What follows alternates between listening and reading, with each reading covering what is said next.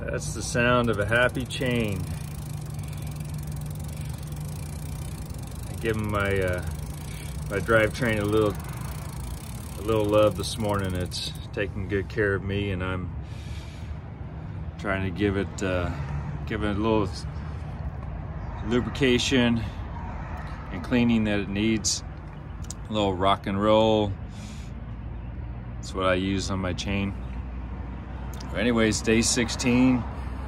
Got a pretty good start this morning up at 6.30 or so. And like I said last night, I'm headed to Chattahoochee. And it's a beautiful day out here. So uh, I'm looking forward to another great ride. Um, and it's about 55 miles down the road. And uh, I'll take some pictures and videos and check in with you all later. Have a great day.